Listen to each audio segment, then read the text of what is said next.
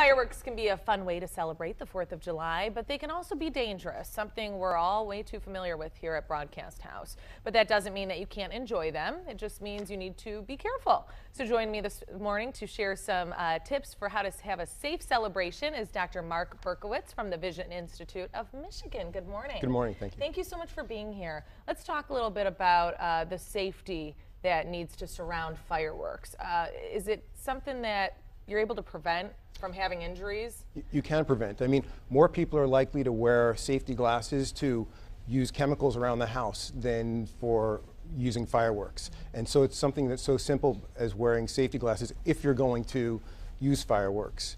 Uh, mostly, leave it to the professionals. Mm-hmm.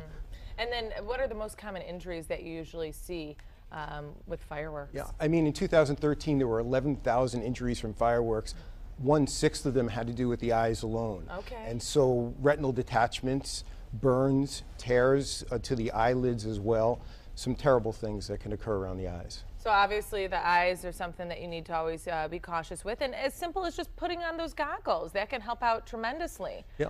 Um, what other tips do you have for people when it comes to handling the fireworks? So first of all, if you see a firework that has not exploded, stay away from it. Mm-hmm. Um, you know, people are more likely to allow their kids to play with sparklers or with fireworks than to allow them to light their own candle at their birthday. Okay. And sparklers actually have tremendous heat and create damage. So don't give your kids sparklers. Stay okay. away from them. And, that's something that I mean, I know as a kid growing up, it was like I was probably three years old handling a sparkler, but yeah, it's not always it's not the safest thing to do.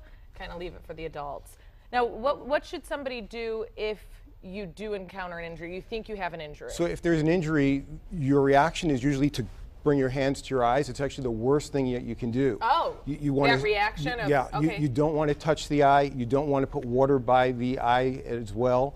Uh, you don't. If there is a foreign body by the eye, you don't want to pull it out or push oh. it in. You want to just call for Leave medical it. attention. Okay, so just kind of stay put, call for some help, call mm-hmm. 911, and then just wait. Eh, yeah, I, I mean, that's such good advice because I know that if something had happened, your initial reaction is to go for water and want to cover your face with your hands, but try not to do that. What, um, any other last tips that you'd like to give to people? Well, first of all, for, you know, talking to your kids. Sometimes it's difficult. Parents are afraid to tell their kids not to use it.